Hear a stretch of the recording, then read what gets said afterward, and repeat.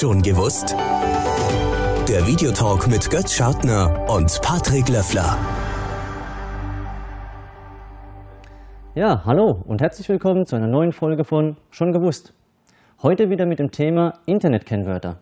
Das letzte Mal habe ich euch ja ein Beispiel von einem Internetkennwort gezeigt, das wirklich schwer zu knacken ist. Heute verrate ich euch, wie man ein solches sicheres Kennwort erstellt und vor allem auch merken kann. Zunächst nochmal zur Erinnerung. Aus was besteht ein gutes Kennwort? Also ein Kennwort, das schwer zu knacken ist. Wir fassen nochmal zusammen. Es besteht aus mindestens zehn Zeichen, aus Groß- und Kleinbuchstaben, aus Zahlen und aus Sonderzeichen. Hier zeige ich euch jetzt nochmal das Beispiel aus unserer letzten Folge für ein gutes Kennwort, das wirklich schwer zu knacken ist. Der eine oder andere fragt sich jetzt, wie soll ich mir denn so ein kompliziertes Kennwort merken? Aber das ist ganz einfach. Denn in diesem Kennwort ist ganz einfach ein Satz versteckt. Ich, in Klammer 20, fahre jeden Sonntag 10 Kilometer Fahrrad. Punkt. Den Satz habe ich mir jetzt rausgesucht, weil ich ihn mir gut merken kann.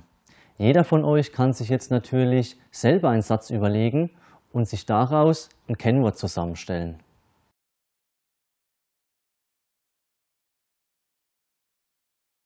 So, jetzt wisst ihr, wie man ein gutes Kennwort erstellen kann.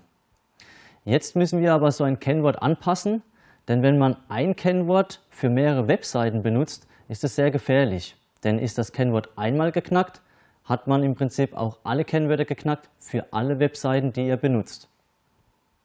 Damit das nicht passieren kann, müsst ihr unbedingt euer Kennwort anpassen. Beispielsweise, ich besuche die Seite Amazon.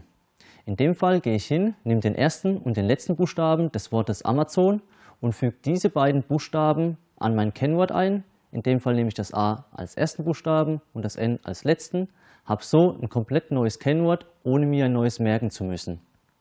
Wenn ich jetzt zum Beispiel die Seite eBay besuchen möchte, mache ich das genauso. Hier nehme ich wieder den ersten und den letzten Buchstaben des Wortes eBay, füge das wieder an den Anfang und an das Ende meines Kennwortes ein und habe auch wieder ein neues Kennwort. Genau das gleiche Spiel wäre es jetzt mit der Seite web.de. Auch hier nehme ich wieder den ersten und den letzten Buchstaben von web.de und füge diese Buchstaben wieder an mein Kennwort am Anfang und am Ende ein und ihr habt wieder ein neues Kennwort. Das war's schon für heute für die Sendung. Vielen Dank, dass ihr zugeschaut habt. Ich freue mich auf das nächste Mal. Diese Sendung wurde unterstützt von Sparda SurfSafe Baden-Württemberg.